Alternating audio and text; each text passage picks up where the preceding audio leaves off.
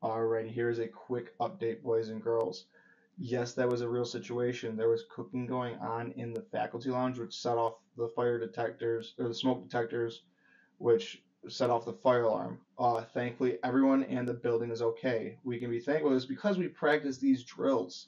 Uh, we got out of the building very quickly and very organized.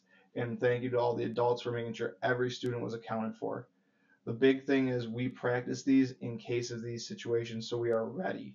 Uh, just a reminder, we stay silent during these to make sure we can communicate what needs to happen next. So again, thank you everybody for being quick and hurrying and staying safe and organized. Thank you again to everybody, including the Irondequoit Fire Department, for being so quick. I hope you all have a good rest of your day. Bye bye.